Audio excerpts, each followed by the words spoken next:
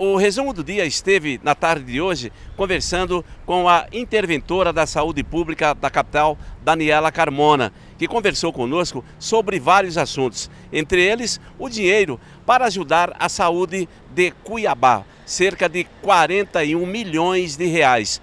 Outro assunto conversado com ela foi justamente um, uma possível CPI na Câmara Municipal de Cuiabá, bem como as denúncias do prefeito Emanuel Pinheiro e também da Assembleia Legislativa, que quer a presença da interventora no Poder Legislativo. Inicialmente, a gente conversa com ela sobre esse dinheiro federal que também teve a participação da bancada federal de Mato Grosso. Esse dinheiro soma 41 milhões de reais e será aplicado na saúde básica cuiabana. Nós pleiteamos esse recurso no início de abril, fui até Brasília, junto com a bancada federal em uma reunião junto à ministra, é, levei o plano e solicitamos o apoio dela para reorganizar a saúde de Cuiabá, contando com um aporte financeiro.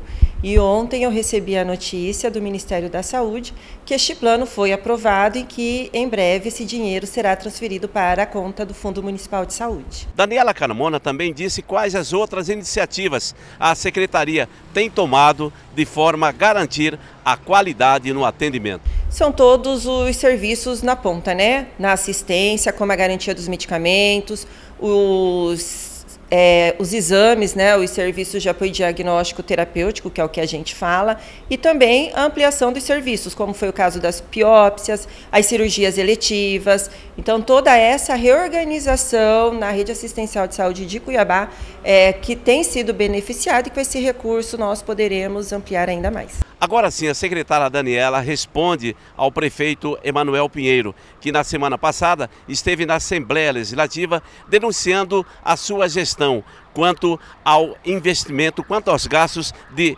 183 milhões de reais. Bom, para nós, enquanto intervenção, é muito tranquilo. Primeiro que são valores que, até o momento, eu não sei de onde que ele tirou essas informações.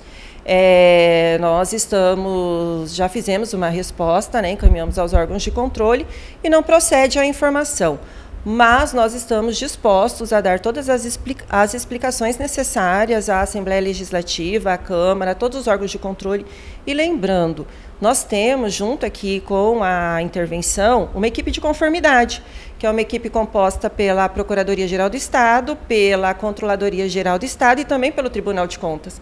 Então, são acusações, assim, são falácias, mais uma vez, do prefeito, e nós temos muita tranquilidade para responder todos os questionamentos. Ontem o deputado Lúdio Cabral aventou a possibilidade de convocação e de se reunir com a secretária Daniela Carmona para que ela vá a ele e explique toda essa denúncia do prefeito Emanuel Pinheiro. Nós não temos nada a esconder, nós damos total transparência a todas as nossas ações e estamos aqui para, primeiro, estamos por uma determinação judicial, que é a intervenção, temos o acompanhamento de toda uma equipe de conformidade e estamos fazendo tudo dentro da legalidade.